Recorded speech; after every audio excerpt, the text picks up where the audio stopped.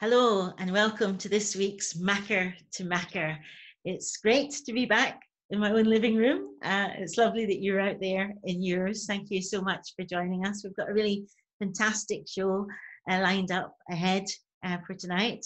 I'll be welcoming for the first time to Makar to Makar Adjoa Andoh, and the wonderful actress and film actress, play actress, radio performer, all round great good egg. I'll be introducing her properly in a minute. And also welcoming back the fantastic Katherine Philpott, who you've heard a few times on Makar to Makar already. Well, the idea behind Makar to Makar is to pass the baton on Makar to Makar maker to maker, which is the nearest English equivalent of the word makar. And the word makar just means the national poet of Scotland. And for the moment, that's me. I follow Liz Lochhead and Edwin Morgan. Had Edwin lived, he would have been 100 this very year on the 27th of April. The word makar is the old word for bard, but it didn't exclusively, it wasn't exclusively used to describe Scottish poets it was also used to describe Chaucer by Dunbar. And in this series, we love the idea of passing the baton both within the programme between poetry and song. So the whole programme has a, a rich and heady mix of poetry and song. And so to kick things off, I'm going to start with this wee offering, a poem called Brendan Gallagher. He was seven and I was six, my Brendan Gallagher. He was Irish and I was Scottish, my Brendan Gallagher. His father was in prison. He was a cat burglar. My father was a Communist Party full time worker. He had six brothers, and I had one, my Brendan Gallagher. He would hold my hand and take me by the river, where we talk all about his family being poor. He'd get his mum out of Glasgow when he got older, a wee holiday, someplace nice, someplace far. I tell my mum about my Brendan Gallagher, how his mum drank and his daddy was a cat burglar, and she'd say, Why not have him round to dinner? No, no, I'd say, he's got big holes in his trousers. I like meeting him by the burn in the open air. Then, one day, after we'd been friends two years, one day when it was pouring and I was indoors, my mum says to me, I was talking to Mrs. Moyer who lives next door to your Brendan Gallagher. Didn't you say his address was 24 Novar? She says there are no Gallaghers at 24 Novar. There never have been any Gallaghers next door.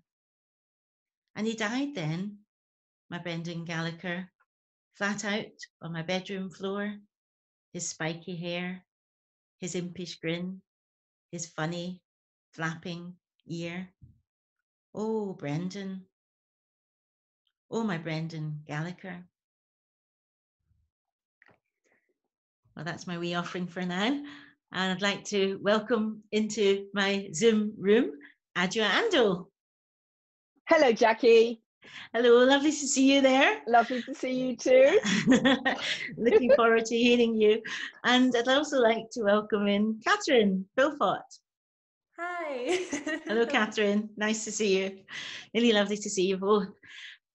Adjoa is um, a dear, a dear and wonderful friend of mine. We've been friends since we were in our twenties, Adjoa, haven't we? Our friendship goes decades. And decades. It goes back a long, long way. And and yeah. during that and during that time, I've had the, that wonderful feeling that you get when you're a very, very proud friend of seeing you and hearing you in so many different roles, in so many different ways, on stage, on television, listening to you in the radio. One of my last great pleasures was seeing you play Richard II um, at, at the Globe, which was an absolutely fantastic, phenomenal production, all women of colour, that you directed yourself. The music yeah. was sublime and composed by Dominique Le Gendre. It was just one of those those productions that just left you with, with shivers and you just wanted everybody you knew to be able to get a chance to see it. And as you're sitting watching it, you're thinking, these people missing out here because they're not getting a chance to see it. But I've also felt very proud watching you in Doctor Who, watching you in Casualty, and not that long ago when you came to visit my mum in hospital, I was bemused to find a whole trail of nurses following me down the corridor, and my dad watching, kind of shocked. It was like life, life imitating art, imitating life. And you're you're you absolutely adore uh, shakespeare and one of the wonderful things about having you on this on this program today Makar to is that you're going to be sharing with all of us your enthusiasms for a number of really wonderful writers. Mm-hmm. yes. Uh, uh, of which you my dear friend i am extremely extremely proud of because you are up there in the top top wonderful writers jack. So um I'm very, very thrilled to be here with you and with Katherine, whose voice is sublime. So, what a top lineup! We're going to have fun, folks.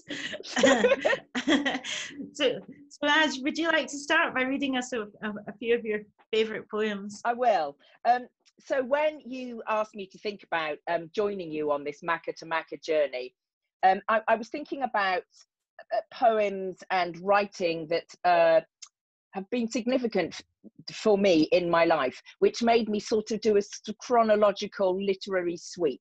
So we're starting at the beginning, sort of.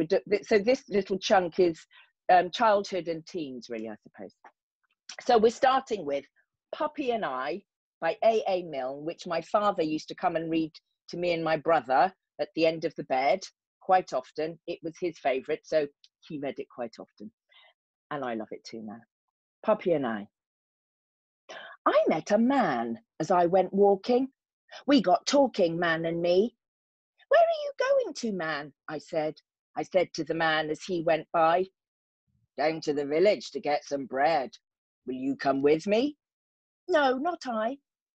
I met a horse as I went walking. We got talking, horse and I. Where are you going to, horse, today? I said to the horse as he went by down to the village to get some hay. Will you come with me? No, not I. I met a woman as I went walking. We got talking, woman and I. Where are you going to, woman, so early? I said to the woman as she went by. Going to the village to get some barley. Will you come with me? No, not I. I met some rabbits as I went walking. We got talking, rabbits and I. Where are you going in your brown fur coats? I said to the rabbits as they went by. Down to the village to get some oats. Will you come with us? No, not I. I met a puppy as I went walking. We got talking, puppy and I. Where are you going this fine day? I said to the puppy as he went by. Up to the hills to roll and play. I'll come with you, puppy, said I. That's it.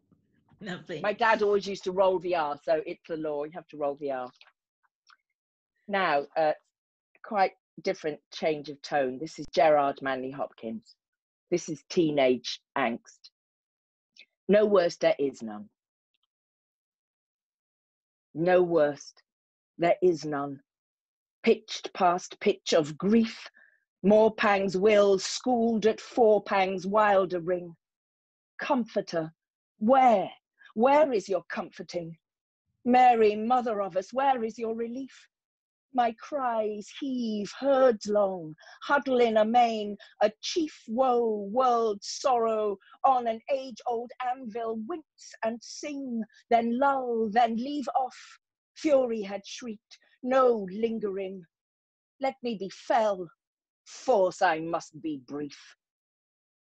Oh, the mind, Mind has mountains, cliffs of fall, frightful, sheer, no man fathomed.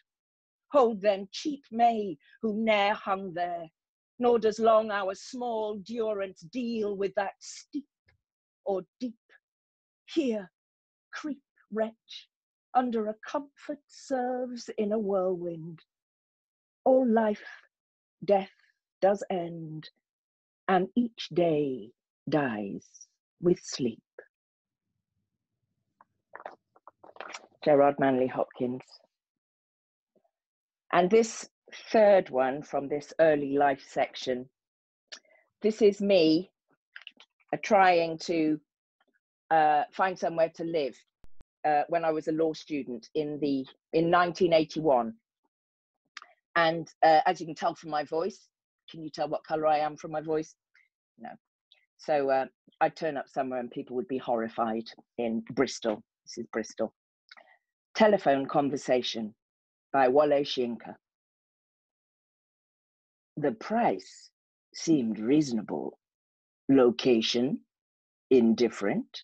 The landlady swore she lived off premises. Nothing remained but self confession. Madam, I warned, I hate a wasted journey. I am African. Silence. Silenced transmission of pressurized good breeding. Voice when it came, lipstick coated, long gold rolled cigarette holder pipped. Caught I was, foully. How dark? I had not misheard. Are you light or very dark? Button B, button A. Stench of rancid breath of public hide and speak. Red booth, red pillar box, red double tiered omnibus squelching tar. It was real. Shamed by ill mannered silence, surrender pushed dumbfoundment to beg simplification. Considerate she was, varying the emphasis. Are you dark or very light? Revelation came. You mean like uh, plain or milk chocolate? Her assent was clinical, crushing in its light impersonality. Rapidly, wavelength adjusted, I chose West African sepia, and as an afterthought, down in my passport. Silence for spectroscopic flight of fancy till truthfulness clanged her accent hard on the mouthpiece. What's that? Conceding, don't know what that is. Like brunette. That's dark, isn't it? Not altogether. Facially, I am brunette, but madam, you should see the rest of me. Palm of my hand, soles of my feet are a peroxide blonde. A friction caused foolishly, madam, by sitting down has turned my bottom raven black. Uh, one moment, madam. Sensing her receiver rearing on the thunderclap about my ears, madam, I pleaded, wouldn't you rather see for yourself? Wole Soyinka. So he experienced pretty much the same stuff that I had experienced, I guess. Yeah, it's it's really amazing to hear that poem again. I remember it was one of the poems that we actually got at school, and I remember when Did our you? English yes, I got it at school at fourteen. Wow. Uh, yeah, and I remember my English teacher, Mrs. Hughes, um, asking the class what they made of it, and, and nobody could really understand the poem except except me. And I Yeah. understand I understood the the notion that people because people would often ask you if your bottom was the same color as the rest of you, kind of rather perplexingly. I, I could never quite get get that, and, and they'd often ask to see the color of your palm of your hands, as if by being a different color it meant that you would just be different colors all over. It was really really strange, and not Mm. until I actually read that poem did I come across Yeah. um, that in literature, and it, it was a really massive thing. Um, isn't it when you when you come across a kind of a mirror image of your own experience in literature and and It- suddenly your life is made some kind of sense of It's an enormous relief, isn't it? Because you you stop thinking it's just me. Uh, you know, um, a, a- a thing that I think of at the moment is I was watching um, the cricket when it was raining on Monday, and Michael Holding and uh, um, the, uh, the the woman cricketer Ebony and uh, Nasser Hussain were all talking about their experiences of racism, and they're massively successful in their field. And e- even to this day, there's bits of you that goes, "Oh, that happened to you as well. It's not just me."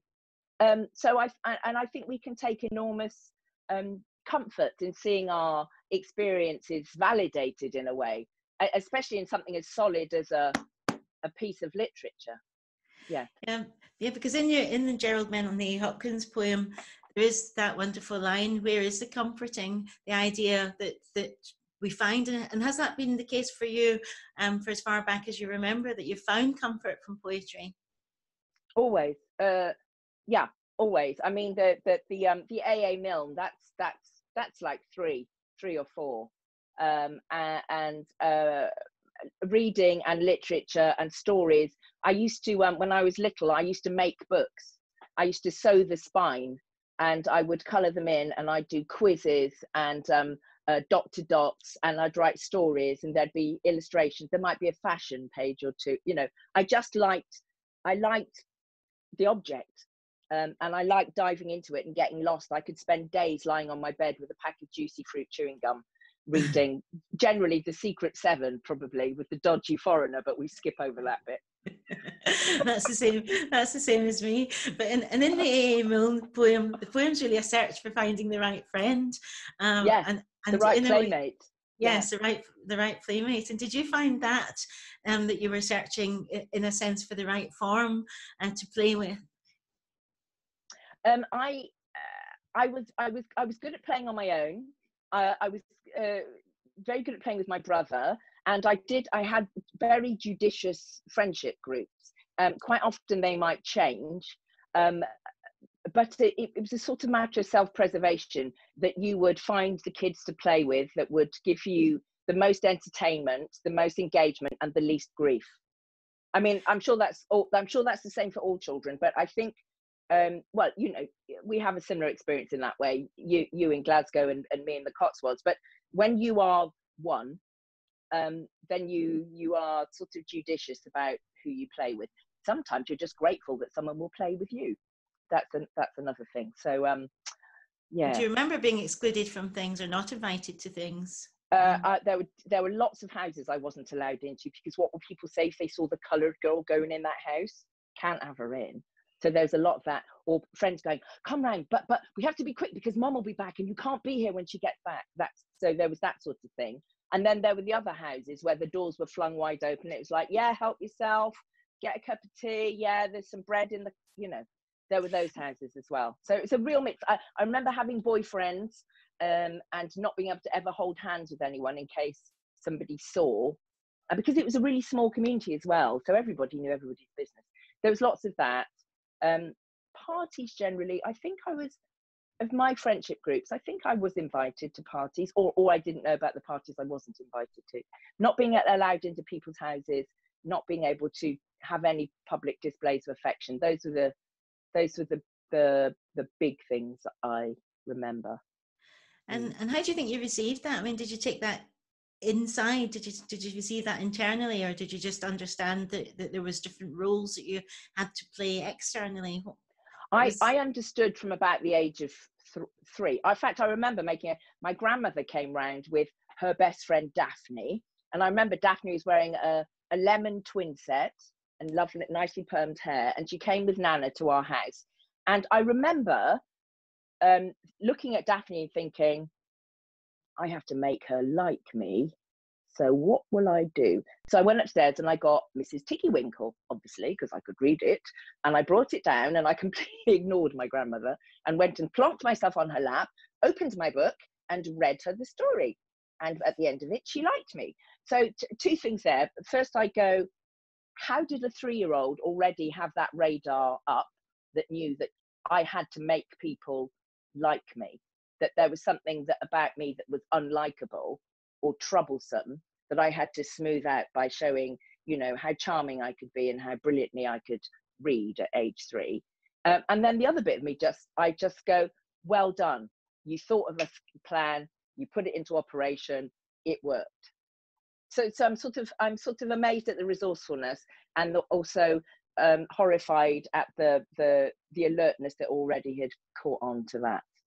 Yeah. yeah. And did you did you find because when you were talking about the Gerald Manley Hopkins poem, which was really amazing, and you said you described that as being um, important to you during a period of teenage angst. Did you did you find that you rebelled against some of those things of having to be a version of when you were a teenager, or did that become more uh, problematic in a way?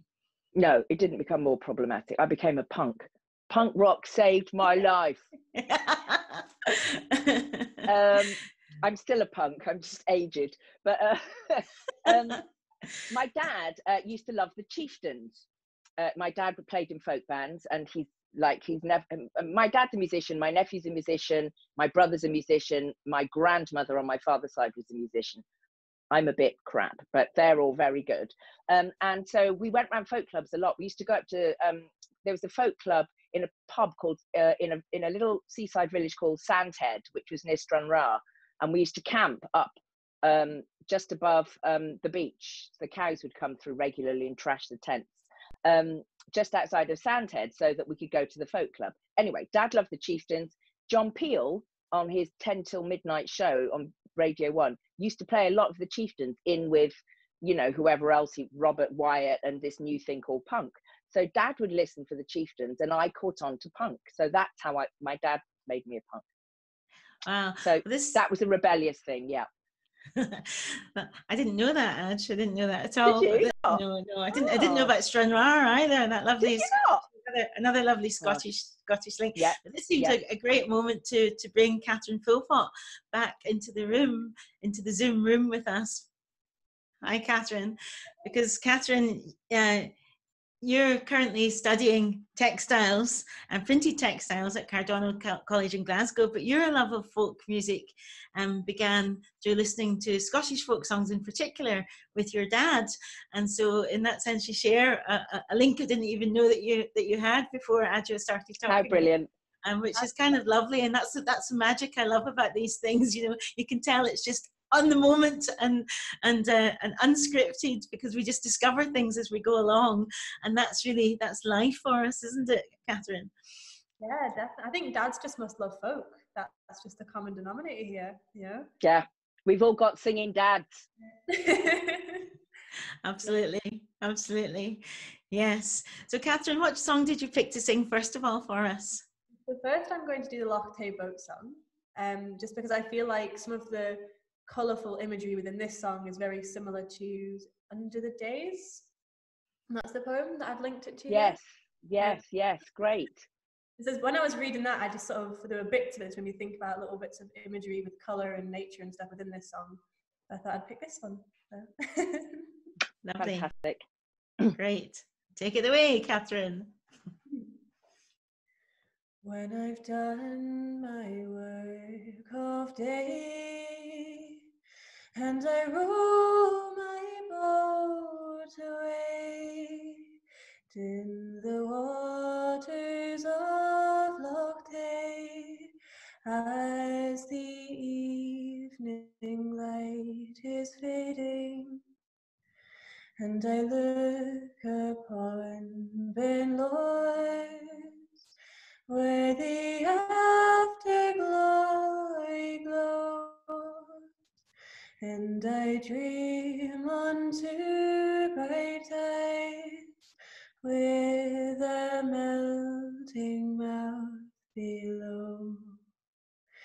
She's my beauteous nighean ruadh, my joy and sorrow too.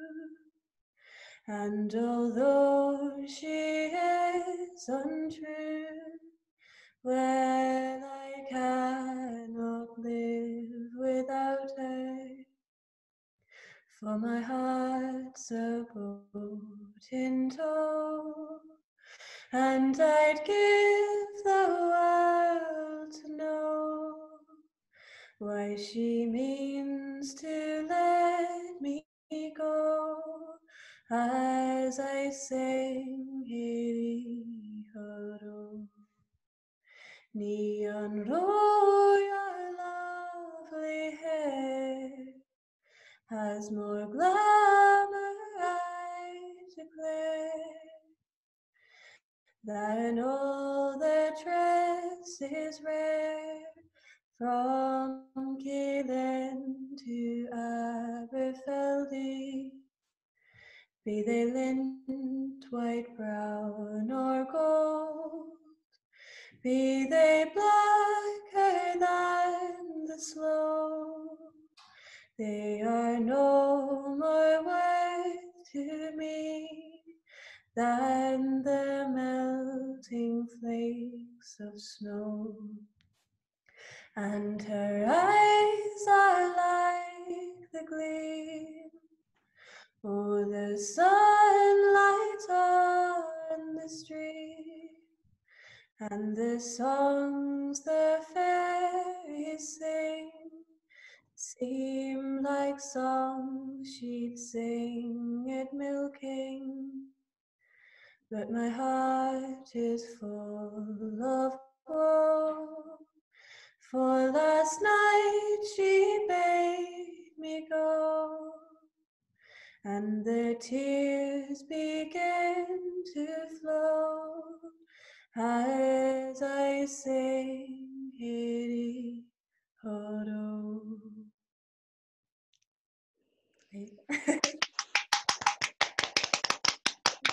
How fabulous. Wasn't that fantastic? Really beautiful. Really really- beautiful. It's wonderful that the that song just takes you on a journey through through Aberfeldy and other places, and it's wonderful when you recognise particular places and you you picture them. Um, Mhm. my friend had gone a bit of a road trip around the Highlands, and then we'd found this map and we found Killin and then Aberfeldy, and we're finding all the different parts from that song. Like, this is so exciting. We can actually picture it now. It's incredible. Yeah. Yeah, and, and songs are kind of maps in our lives, aren't they? A bit like poems in our lives. Like A- Adjoa read those first three poems um, because they meant a lot to her when she was younger. And in fact, your, your whole reading, Adjoa, you planned out in a, in a in a way, taking us in a way through your life.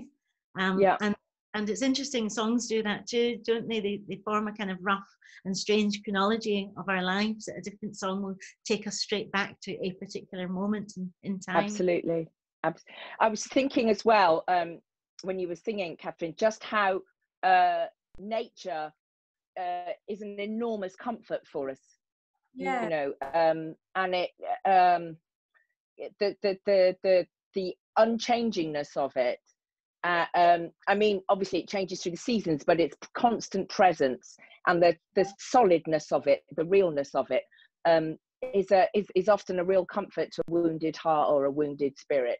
Um, and that, yeah, that just made me really think of that when you were singing. It's a nice constant to have, really. you know, Yeah. you had a you can go and sit and you can look at trees and flowers and it's lovely and it comforts you and it's just it's so nice. Yeah. Yeah, yeah, Yeah. It's interesting. fantastic. It's interesting because these particular times that we're living through, we're all in need of comforts, and it seems to me that we're in need of different kinds of comforts to what we might have been in need of before this particular uh, crisis. Um, the kind of comforts that remind us actually who we are and and what we're about, and that remind us of the essence of ourselves, of Yeah, of of the desire and the need to speak out about things that, that, that distress us. So we're living in extraordinary tinderbox times as well, where people are very alive um, to to the moments that we're in, and which which kind of brings me on to the next piece that you're going to to read, Adjoa, um, which is from the, the wonderful African American writer June Jordan, uh, who is an amazing essayist and poet and political thinker and inspiration uh, for many. I remember once uh, introducing her in Camden Town Hall, and the queue formed right round the hall. So I had to actually introduce her twice that night because um, people just waited. They waited a couple Desperate. of hours to hear Yeah. her again. And that night Yeah. she was on until about one o'clock in the morning, and I, I just stayed and, and introduced her twice. But she's she's she was amazing. So why have you picked June Jordan, Ajin? What what does she mean to to you? well, she she she means that time for me, that time when we were young and fizzing, fizzing with ideas and curiosity and hungry to hear uh, about the possibilities for our lives and to see the paths that other women of color um, had taken. And I suppose I don't know. I think I've, I've, I I seem to remember being particularly inspired by African American and African women writers at that time, and also by my peers. Um, you know, uh, just all of us trying to. It, it, it, it, it, it's like we'd, we'd all come from far and the bleeper had gone off and we'd all sort of gathered. And for us Mm. it was it was london and then these these you know these geniuses would come you know Audre Lorde would come with her wise words and june jordan would come with her wise words and alice walker would come with her wise words. And we would all take what we needed and then we'd we'd rehuddle and we'd be talking about it then people would go away and they would do their creative version of who they were inspired by what they'd heard um, and listened to and experienced. Um, individually and corporately and i uh, and and for me the, I, I love June Jordan's um, alignment with the working class as well. I love her. I just uh, I love the breadth of who she is and uh, her thisness. I love Absolutely. that about June Jordan. Yeah, and I remember, I remember like- those. Yeah, exactly, and uh, I remember those times, uh, the the late seventies, early eighties, coming across a number of African American writers. You know, like like you said, the wonderful, wonderful Audre Lorde and Sonia Sanchez and Pat Yeah. Parker Yeah, Um, and Michelle Cliff. And it, it was Pauline just- Marshall. yeah, just- Marshall, yes, praise song for the widow, and it was Praise just song to the widow. yeah, I love that. stones. Yeah. Yes, that's right. I love her hanging over that boat in that praise song for the widow when she has this Yeah. kind of cleansing of herself and she, has almost an amazing rebirth. But um Yeah. but it was like that and coming across the Sisterwrite bookshop or compendium Oh bookshop in. London and all these alternative bookshops It that, was so that exciting, wasn't it?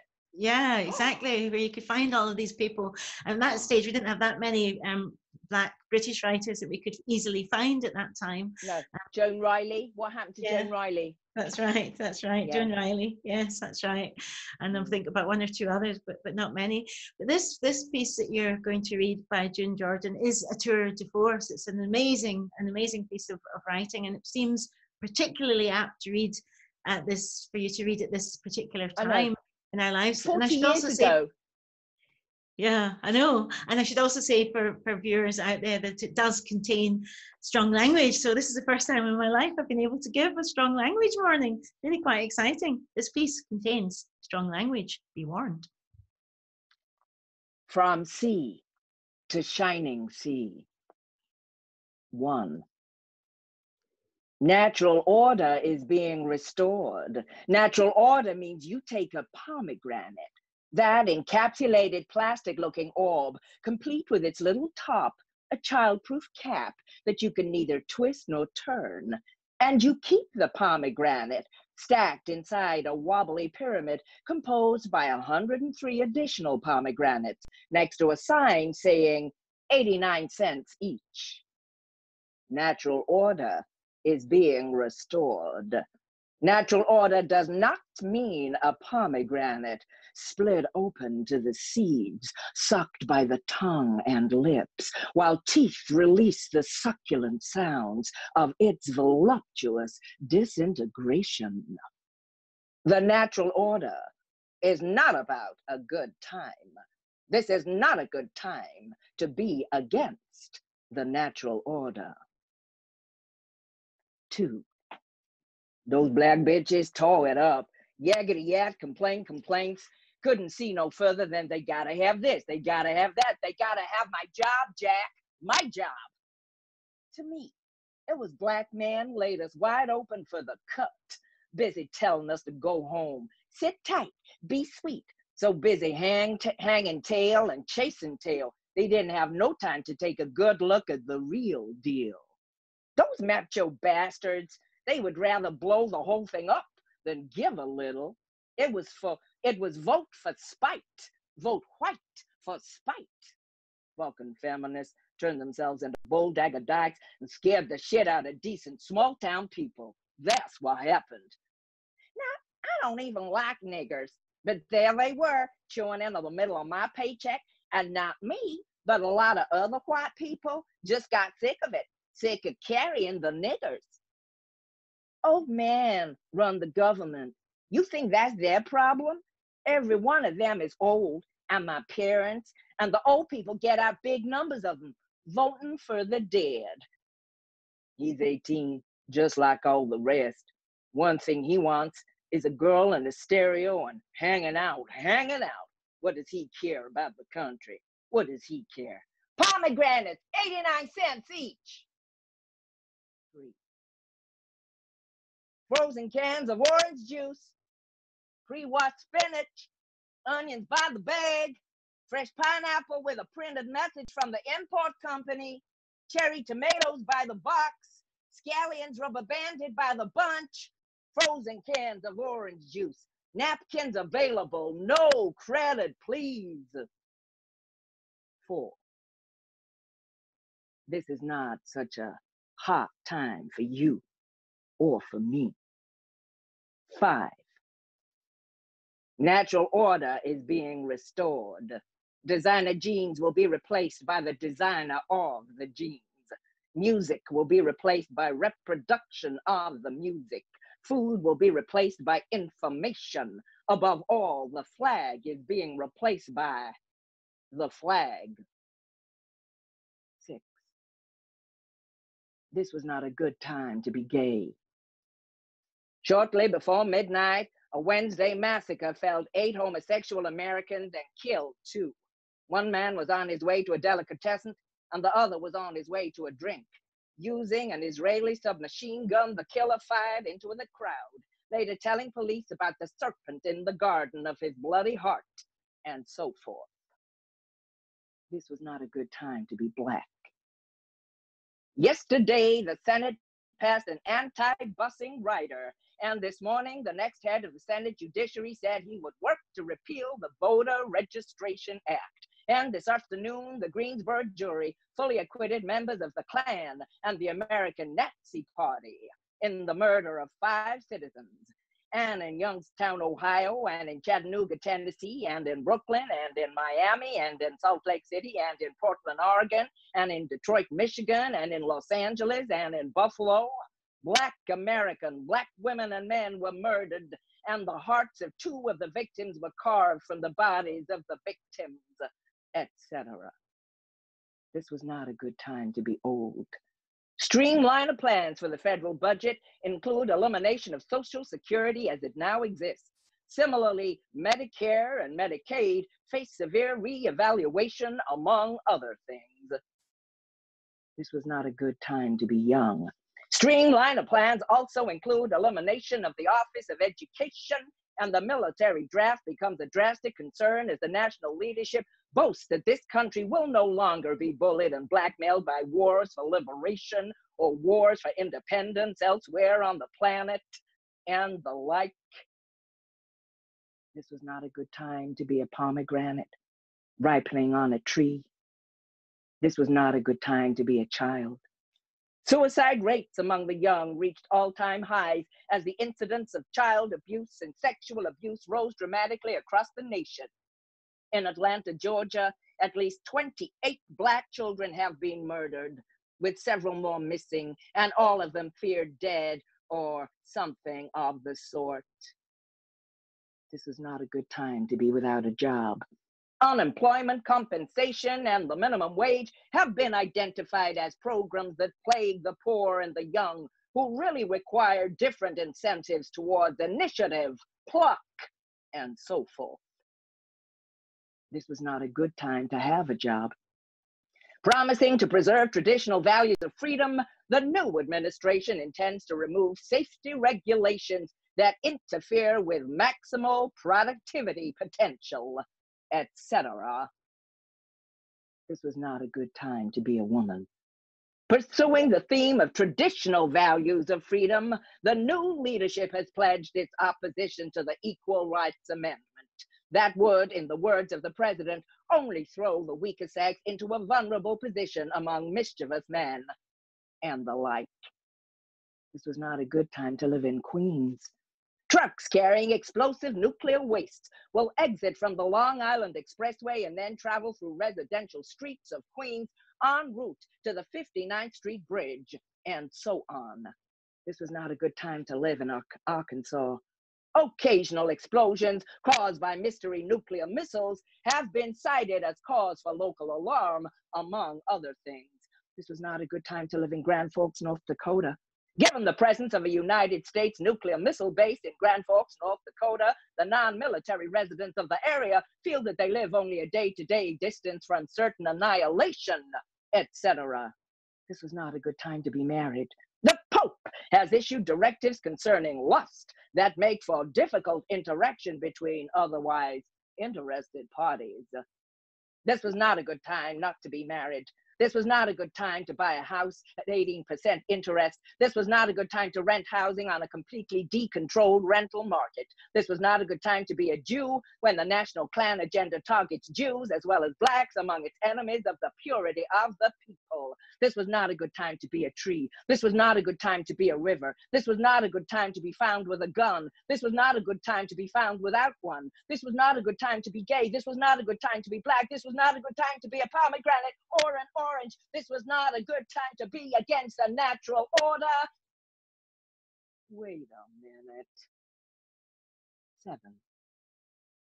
Sucked by the tongue and the lips, while the teeth release the succulence of all voluptuous disintegration. I am turning under the trees. I am trailing blood into the rivers. I am walking loud along the streets.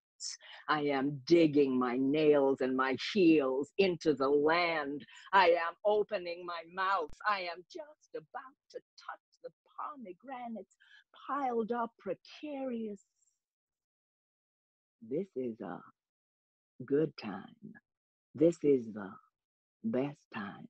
This is the only time to come together, fractures, kicking, spilling, burly, whirling, raucous, messy, free, exploding like the seeds of natural disorder. June Jordan.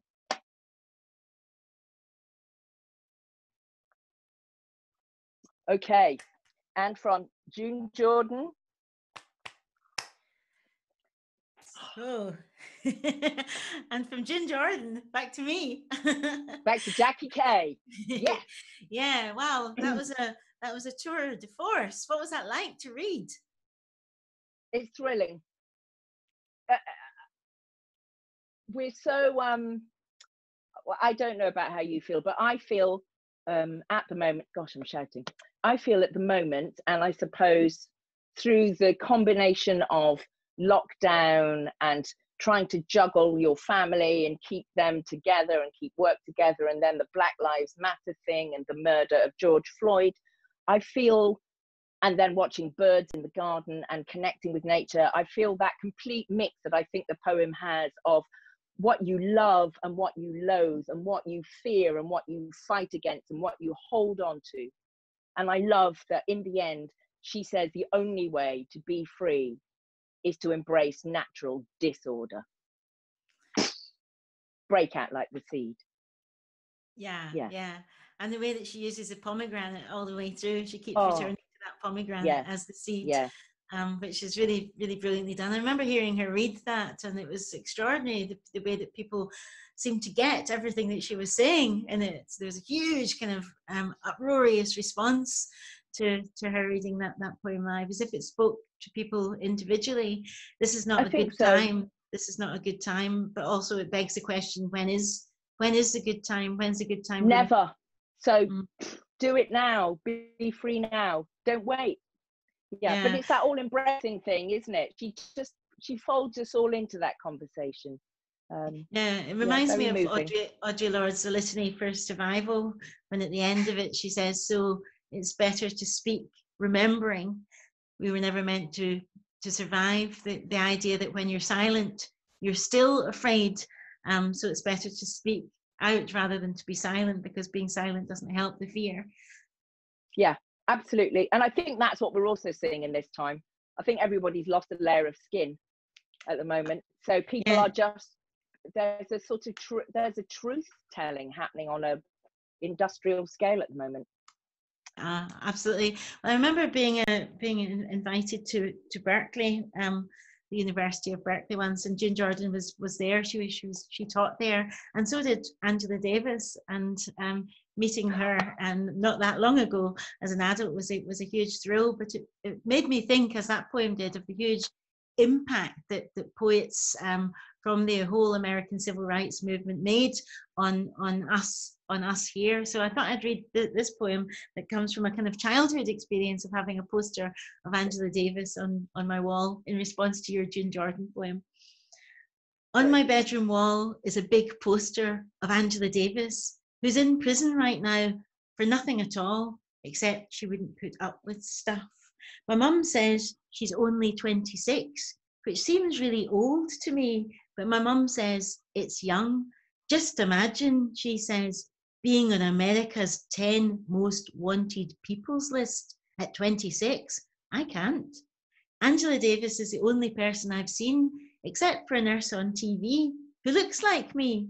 She has big hair like mine that grows out instead of down. My mum says it's called an afro. If I could be as brave as her when I get older, I'll be okay. Last night I kissed her good night again and wondered if she could feel the kisses in prison all the way from Scotland. Her skin is the same too, you know. I can see my skin is that colour, but most of the time I forget. So sometimes when I look in the mirror, I give myself a bit of a shock and say to myself, Do you really look like this? I wonder if she does that. I don't believe she killed anybody. My dad said it's all a load of phony lies. I asked my dad if she'll get the chair like them Rosenbergs he was telling me about. No, he says. The world is on her side. Well, how come she's in there then? I thinks. I worry she's going to get the chair. I worry she's worrying about the chair. My dad says she'll be putting on a brave face. He brought me a badge home, which I wore to school. It says, Free Angela Davis. And all my pals says, Who's she?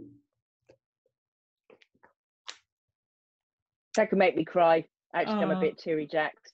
Oh, Yeah. oh, oh. It it it uh it's just that that thirstiness to see someone that looks like you. Like thirst to see someone.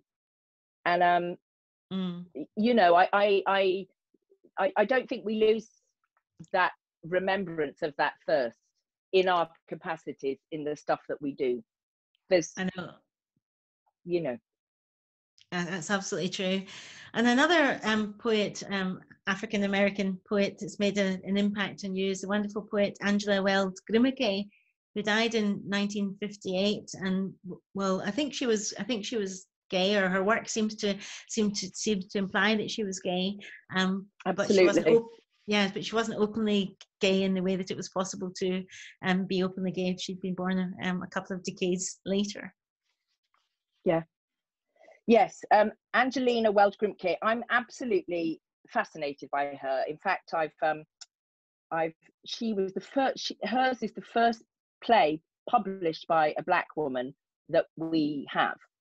Uh, it's called Rachel, and I'm going to do something with it. Wow, I- wonderful. She, I love her. Anyway, this is Rosabelle.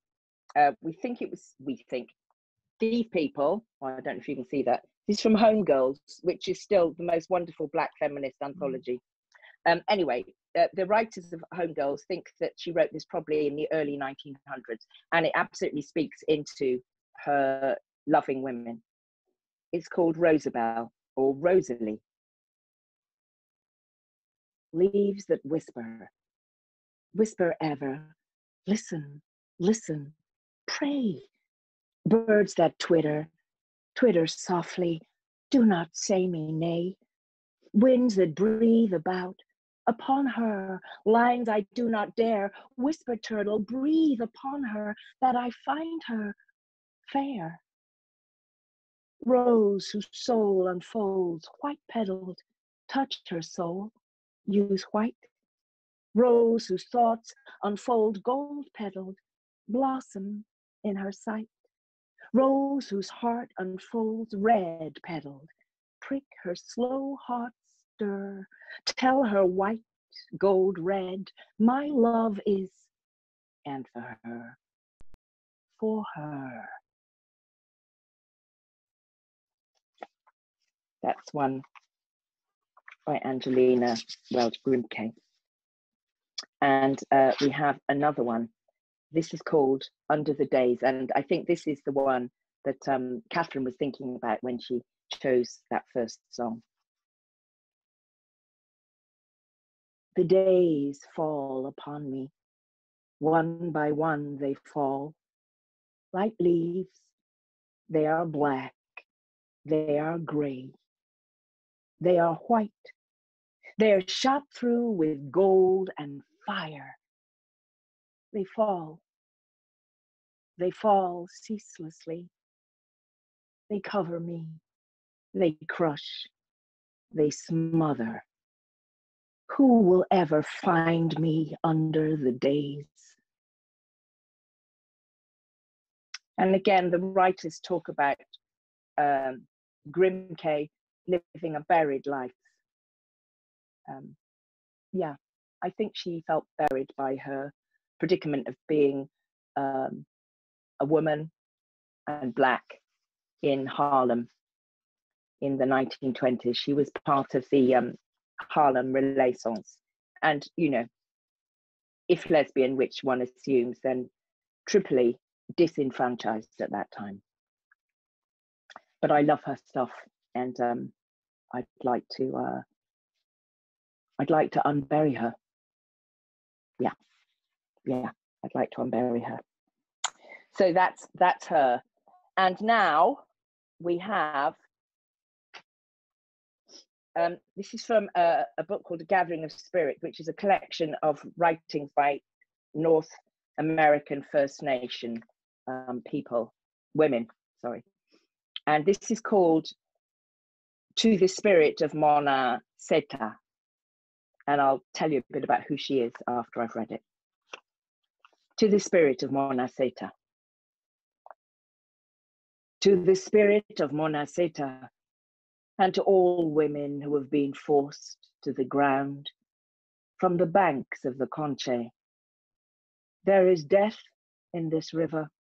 You can hear it speak. The people fishing or watching the great birds nest in shallow coves cannot hear it. They have not been made to listen. I have seen the eagles and cast for fish, but there is something else here. The mystery that speaks of life and death and rebirth has been stretched to its limits. Violence has imposed new conditions. If I could, I would pull the death from this river. If I could, I would fling it to the sky. But today the clouds hang bruised and battered, as if saying they too have had enough. For downstream, a woman's body was found, delivered naked and nameless into the river's lap. My fingers claw wet clay, touch earth, earth. If you get lost, touch earth. If the wind changes directions or you are caught midstream, touch earth. When violence hits you, touch deep, for that is where it strikes the place, the moment when the killer and his instrument become one. Cold, lifeless metal held to my throat, hand digging into pain. I close my eyes to push back the memory, but there is no stopping it, no force of mind, no threat of retaliation. Victims are stripped of will.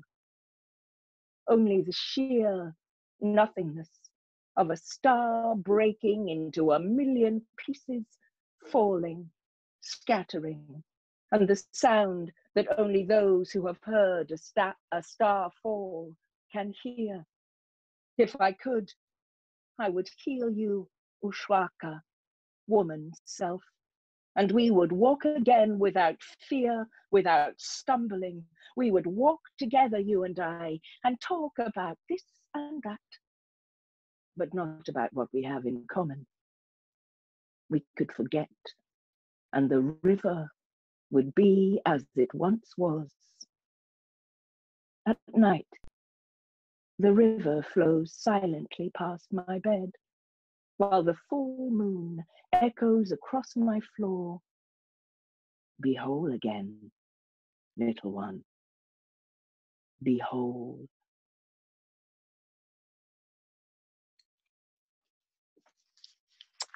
So that was written by a woman called Charlotte Declue. And there's a little bit about Charlotte Declue. Like most of the contributors to this book, she wasn't a professional writer. She was from the Osage tribe, First Nation tribe. And she says, I'm 34 and was born Enid, Oklahoma.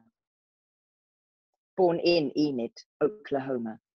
I am a wife and a mother and now live in Lawrence, Kansas. So nothing about her as a writer, but she wrote that poem because Monahsetah, um, the, the, the, the, story of Monahsetah is, is well known in America. She was um, called the concealed wife of General Custer, you know, little bighorn General Custer. Um, and they uh, had a child together. I suspect that Charlotte Declue, she talks about um, the spirit of Monahsetah and all women who have been forced to the ground. So I suspect that Charlotte Declue doesn't think that it was necessarily a willing coming together of those two. He was, of course, married. Um, yes, so she was from the Cheyenne tribe, Monahsetah, and uh, this this story persists about her and General Custer and the the son that was born um, and then what happened to the descendants of of these two. So there we are, Monahsetah, June Jordan. Um, I suppose they're sort of memorializing, um, these writers are memorializing the lives of people who, um, until comparatively recently, have, have not been memorialized. Um, and I, I, I find that very moving all these hidden hidden lives. And um, this this uh, my final piece. This is um, from Troilus and Cressida. It's a speech from Ulysses. Ulysses uh, uh, was with um, the Greeks who were trying to storm the walls of Troy, and they and they reached an impasse. The whole play takes place in the middle of a seven years war a, a, a, war that's we're seven years into the war rather. Nothing is happening. Ulysses is the wily fox and it's his job to encourage their main fighter achilles to get back out there and fight fight those trojans. Time hath my lord a wallet at his back wherein he puts arms for oblivion a great sized monster of ingratitudes. Those scraps are good deeds past, which are devoured as fast as they are made, forgot as soon as done. Perseverance, dear my lord, keeps honour bright. To have done is to hang quite out of fashion, like a rusty mail in monumental mockery. Keep then the path for emulation hath a thousand sons that one by one pursue. If you give way, like to an entered tide, they all rush by and leave you hindmost. Then what they do in present, though less than yours in past, must o'ertop yours. For time is like a fashionable host that slightly shakes his parting guest by the hand and with his arms outstretched as he would fly, grasps in the comer. The welcome ever smiles and farewell goes oft sighing. Let not virtue seek remuneration for the thing it was, for beauty, wit, high birth, vigor of bone, desert in service, love, friendship, charity are subject all to envious and calumniating time.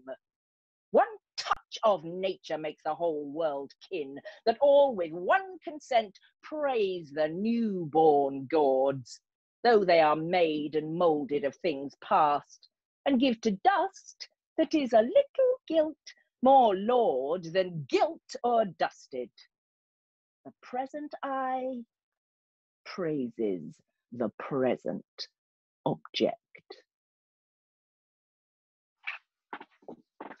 Good old Shakespeare.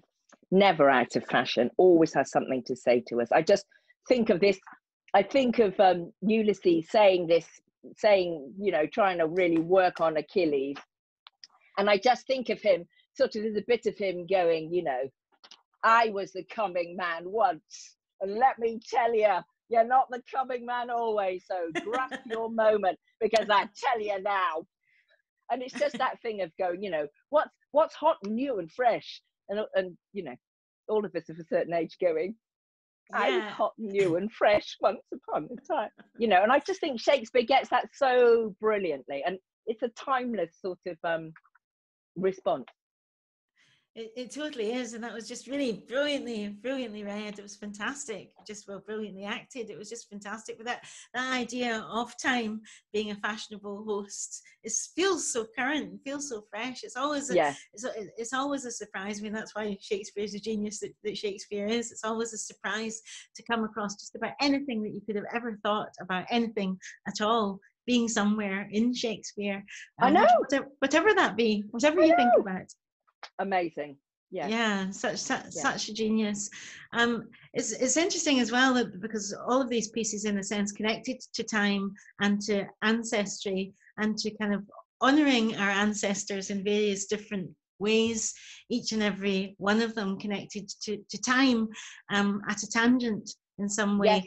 and, yes. and and and time feels a, it is a slippery host it is something that yeah. we're always trying to catch and forever yeah. running yeah. after and we're, we're, we're forever also trying to remember ourselves at different ages um, as we shift and change ourselves and grow into the self we're about to become sort of looking backwards and forwards simultaneously and one of the things I, I, love about the work that you've chosen at uh, tonight is that it gives us that whole sense of, of the variable the variables of time. Yeah. I, I, I, I yeah i was just thinking about that and thinking that um time for me it doesn't it's not linear. It feels very uh, vertical in a way because i i still feel like that three year old that sussed out what i needed to do for lemon cardigan daphne.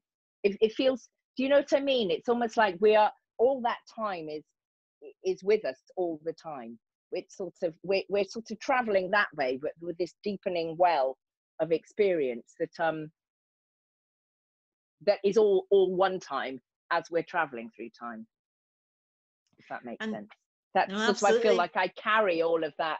You know, the three-year-old and the six, anxious sixteen-year-old. They're all chugging away. I know they're all part they're all part of you and they're all in you yeah. and they all continue yeah. to see things uh, so you, you can continue to look at things through that three-year-old's eyes as, as well yeah, as through your absolutely. own eyes and it's, it's like having simultaneous eyes simultaneous receiving things like all. the pomegranate seeds all these mm. little pieces that make up the whole yeah. Absolutely. Well it's just been such a delight to hear them these pieces that are so important and the, the idea that these these pieces that you've chosen um, have been your companions.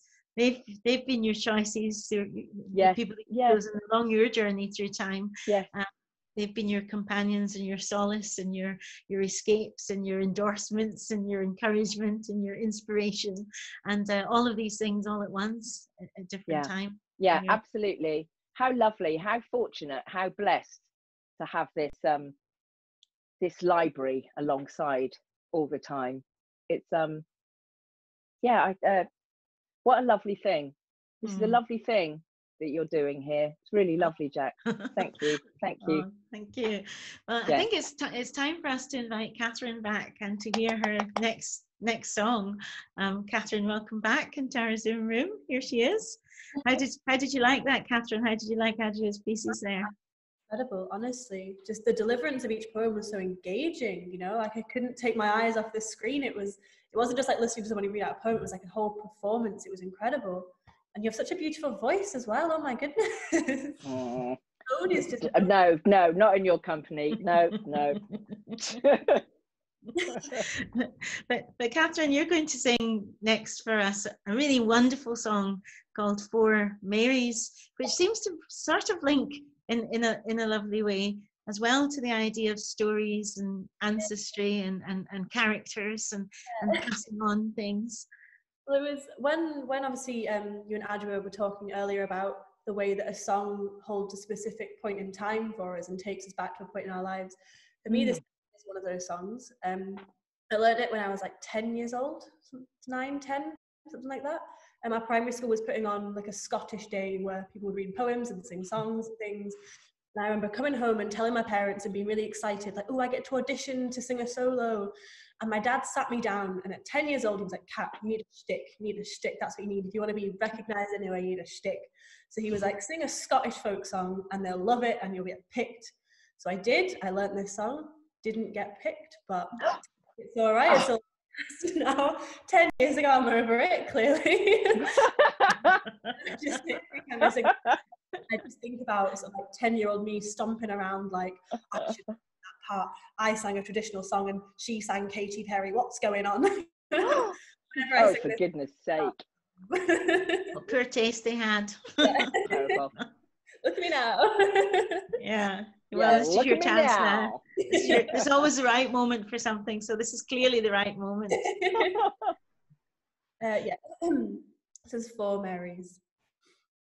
Last night there were four Marys. Tonight there'll be but three. There was Mary Seaton and Mary Beaton and Mary Carmichael and me. Oh, little did my mother know when she gave me bread that I should go so far from home and die a shameful death. Oh, often have I dressed my queen, put on her broad silk gown. But all the thanks I've got tonight is to be hanged in Edinburgh town. Full often have I dressed my queen, put gold upon her hair. And all the thanks I have today is the gallows to be my share. Oh, happy, happy is the maid born of beauty free. Oh, it was my rosy dimpled cheeks that's been the devil to me. They'll tie a handkerchief round my eyes so I may not see day. And they'll never tell my mother dear, but that I am across the sea. Last night there were four Marys, tonight there'll be but three. There was Mary Seaton and Mary Beaton and Mary Carmichael and me.